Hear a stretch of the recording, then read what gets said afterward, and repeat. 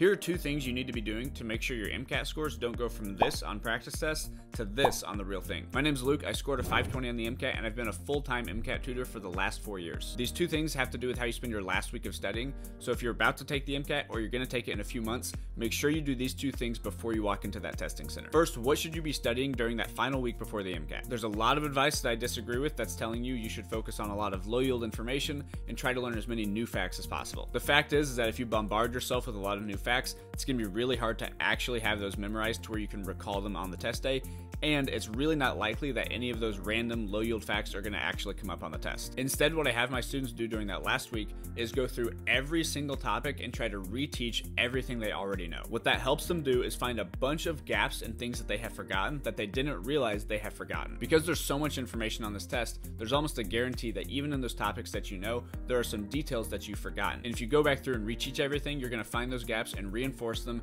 and then you'll be able to remember them on the test day. And since these facts are things that you already knew, you just forgot, once you reinforce them, they're really likely to stick on test day. So you can find dozens and dozens of small gaps that you have and actually have a real impact on your test. The other thing I have them do has nothing to do with studying or content. It's all about visualizing the test day. What I have my students do is think back to all their practice tests and imagine the different scenarios that came up. This is things like running out of time or encountering a passage that they feel completely lost on, or maybe a question comes up on a topic that they feel like they've never even seen before. Do this for as many scenarios as you can, and then if one of them comes up on the actual test day, and there's a pretty good chance they will, you'll be prepared and have a game plan for how you should react. This is to highly reduce the chances of you running into one of these things, and then it spirals into a much bigger test ruining issue.